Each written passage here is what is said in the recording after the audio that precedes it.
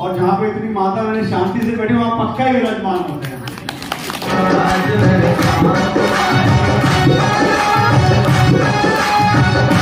Hello दोस्तों, कैसे हो आप सभी लोग? ठीक होंगे और मैं भी बढ़िया हूँ तो स्वागत है एक बार फिर से आप सभी का मेरे नए ब्लॉग में। तो आज के ब्लॉग की स्टार्टिंग हो रही है शाम को चार बजे से, और हम फिर से निकल पड़े हैं गढ़वाल भवन के लिए। तो आज है वहाँ पे कृष्ण और रुक्मणी जी का विवाह, और आप भी बने रहना, आपको भी आज। कान्हा जी की बारात में ले जाएँगे हम। तो चलो चलते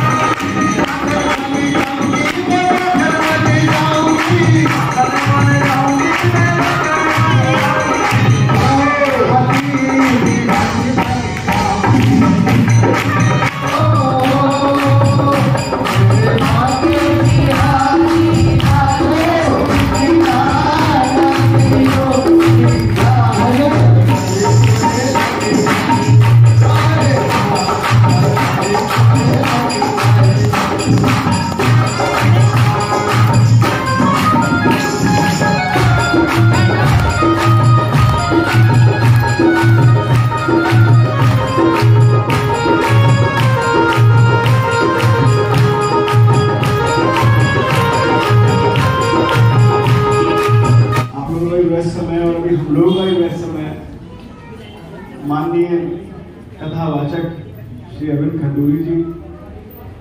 सभी सम्मानित यहाँ पर बैठे हैं, मेरी माताएँ, बहनें और सभी आयोजक कहते हैं जहाँ पे भागवत कथा होती है, वहाँ पे स्वयं भगवान विराजमान होते हैं। और जहाँ पे इतनी माता रानी शांति से बैठे, वहाँ पक्का ही विराजमान होते हैं। और भगवान सही मायने में अगर भगवान है तो अगर अपने अंदर की सच्चाई को अगर आप ढूंढ लो तो वही असली भगवान है। जो कथावाचक होते हैं, हमको हमारे भगवान से मिलाते तो विभिन्न जो उसमें हमें बताते हैं। तो मेरी प्रार्थना है कि उससे कुछ ना कुछ सीख लेके जाए, तब वो कामयाब होगा, अन्यथा हम सिर्फ़ यहाँ सुन के जाए। और अपने जीवन में अमल ना लाए तो कोई फ़ायदा नहीं होता आप भागवत कथा के जितने श्लोक हैं, कोशिश कीजिए कि सारे श्लोक तो कोई अपनी ज़िंदगी में में ला नहीं सकता। अगर कोई एक श्लोक भी अपनी ज़िंदगी में में ले आएँगे तो आप देखेंगे इस भागदौड़ भरी ज़िंदगी में आपको बहुत चेहरे बहुत सुकून मिलता है। हज़ारों वर्ष पहले, हज़ारों वर्ष पहले किसी ने सोचा नहीं होगा वो हज़ारों वर्ष पहले लिखी हुई ज्ञान आज हम लोगों को आप लोगों को ज़िंदगी देते हैं और जो डिप्रेशन नाम की बीमारी आज जो चल रही है, जो इतनी टेंशन में भाग दौड़ में इतनी हम लोग जो ओवर थिंक बहुत सारी चीज़ें आज किताबों के माध्यम से आप कोई भी लीडरशिप किताब पढ़ लो। किसी भी सफल व्यक्ति की जीवनी पढ़ लो। अगर उसने लीडरशिप पे अगर किताब लिखी हो तो आप उसमें देखेंगे भागवत में वो सारा साधन सोचे हज़ारों वर्ष पहले श्री कृष्ण भगवान ने जब गीता का ज्ञान दिया, उस समय बता दिया था। सीखने की बहुत सारी बातें पाँच ज्ञान मैं भी लेके चलता हूँ। सबसे बड़ा ज्ञान तो मैं यही भगवान का हूँ कि आप कभी मुझे आप टेंशन नहीं लेते वो इसलिए नहीं लेता मैं क्योंकि जब भगवान कहते हैं कि मुझे अपने आप को मुझमें सौंप दे तो मैंने अपने आप को तुम्हें सौंप रखा है, तो मैं ये सोचता हूँ, जो गाली मिल रही है वो भी भगवान को मिल रही है जो ताली मिल रही है वो भी भगवान को मिल। रही है तो अगर अपने आप को सौंप दो तो कभी रुक्मणी को संदेश भेजा कि तुम काली के मंदिर में आना और काली के मंदिर से कृष्ण भगवान रुक्मणी को हरण करने के लिए तैयारी कर चुके थे। छविया जो ठहरे तो काम को सीधे तो गई ना उन्होंने जो भी काम के टेढ़े ही आज अपनी माँ को, क्योंकि भाई तो सुनता नहीं था तो माँ को बच्चों की, माँ के साथ बच्चों की ज़्यादा पड़ती है। तो माँ को कहा, माँ, मैं काली मंदिर जा रही हूँ, शादी से पहले मैंने मन्नत की थी कि मैं काली के मंदिर में कुछ चढ़ाऊँगी चढ़ावा और ऐसा घर में बात करके आई और काली मंदिर से कृष्ण भगवान रुक्मणी को लेके चल पड़े। और उनका बहुत झगड़ा हुआ। बाद में रुक्मी हार गया, और कृष्ण भगवान उसका हरण करके ले आए।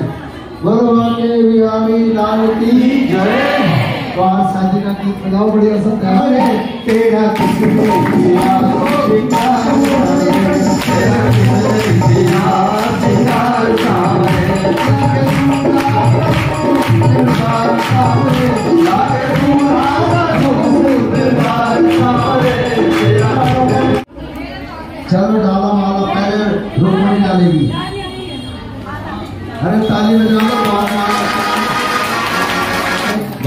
भगवान के बड़े सीधे लग रहे मेरी तरफ़। डालो।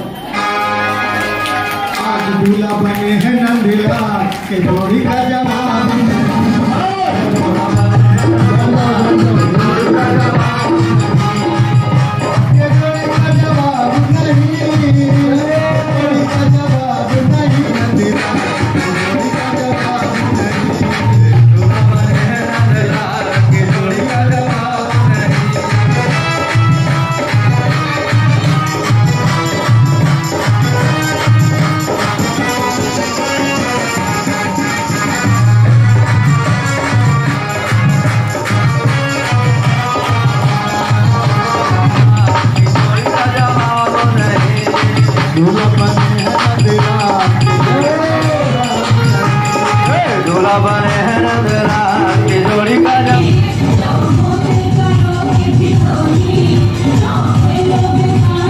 आज मेरे की शादी है जो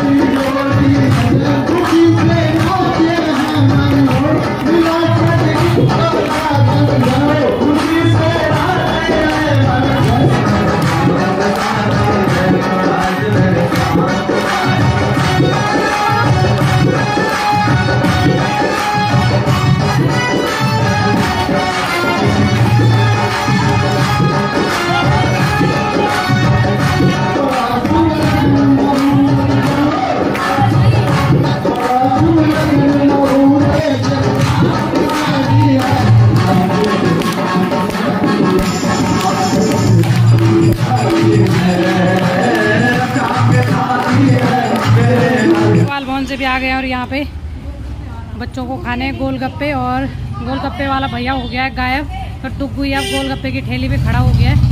और तो भैया भी पहुँच चुके हैं यहाँ पे, अब खाएँगे हम गोलगप्पे।